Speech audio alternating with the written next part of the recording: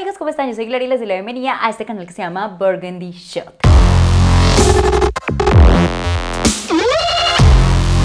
Ya saben que vamos a estar compartiendo tips de Reels para que ustedes lo aprendan a manejar y sean todos unos profesionales subiendo sus Reels y por supuesto teniendo más exposición y llegando a más personas en Instagram. El día de hoy les voy a explicar cómo poner los títulos, que ya saben que funciona igual que TikTok, los títulos que aparecen de repente y desaparecen de la nada y eh, está muy chévere porque así te permite tener como un video editado y puedes ir poniendo las instrucciones de algún tutorial o eh, de algún chiste o de lo que tú quieras hacer y me parece que es una idea buenísima para hacer más dinámicos estos reels. Lo primero que vamos a tener que hacer es haber grabado nuestro video en ya sea directamente en Reels o haber subido desde la galería el video. Ya saben que se pueden usar las dos opciones, le pueden haber usado algún efecto, lo que ustedes quieran, eh, pueden haber grabado diferentes momentos. Ya aquí en este video yo les expliqué paso a paso cómo funciona Reels, entonces si no saben a qué me refiero pueden ir a ver este tutorial primero para que aprendan cómo manejar las herramientas básicas de Reels y una vez ustedes ya tengan listo toda su composición, eh, le tienen que dar a siguiente, la flechita de siguiente y ahí ya nos va a aparecer como si fuera una story, o sea, básicamente la interfaz de las stories que aparece descargar, aparece el muñequito como para agregar GIF, em, algunos stickers que están allí, emojis y todo eso, como la hora, los grados de temperatura que están haciendo y al lado aparece como el cosito para pintar y al lado aparece el de los títulos.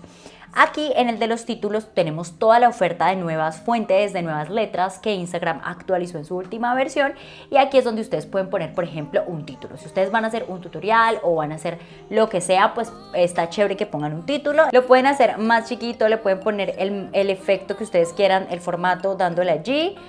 y eh, lo voy a poner a manera de título justo el tamaño y como pueden ver apenas termino de hacerlo arriba les aparece encima de la línea de tiempo original que es la del video les aparece el título. Si ustedes lo tocan y se les pone en blanco, les va a aparecer inmediatamente en la línea de tiempo como unos bordes de marco para que ustedes eh, pongan la duración que ustedes quieran. Entonces, en este caso, si yo estoy haciendo un tutorial, solamente quiero ponerlo eh, como un título, entonces nada más lo voy a dejar los primeros segundos que aparezca, así que aparezca súper rápido. Y cuando él se pone ya como transparente es porque ya no está, o sea, ya no va a estar apareciendo. Ahí podemos añadir otro título más, lo toco y cuando lo toque y me aparezcan todos los marcos blancos, entonces yo voy a fijarme que no se cruce con el título para que no aparezcan los dos al mismo tiempo, sino que después de que se quite el título aparezca la instrucción, la primera instrucción. Y donde quiero que termine, luego añado otro más Nada más tienen que tocar el título si se les desaparecen los bordes blancos para que vuelvan a aparecer y simplemente le dan clic nuevamente a la A de escribir si quieren añadir un nuevo título. Y listo, ahí se nos empieza a reproducir el video y ustedes pueden observar cómo empiezan a aparecer uno por uno los títulos que queremos. Si ustedes por alguna razón quisieran eliminarlo porque no les funcionó, porque como apenas la plataforma está en beta, está haciendo pruebas, entonces ustedes lo único que tendrían que hacer en este caso sería pararse, o sea, tocar la pantalla,